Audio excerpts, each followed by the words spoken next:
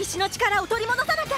そのためには闇の世界ドツクゾーンへ行くしかない。あそこには二度と行きたくなかったな。でもメプルとミップルポロンたちを悲しませたくない、うん、頑張ろう。あれ？ちょっと待って。あいつらおかしくない？一体何が起きてるの？2人はプリキュア最強戦士登場ってもうありえない。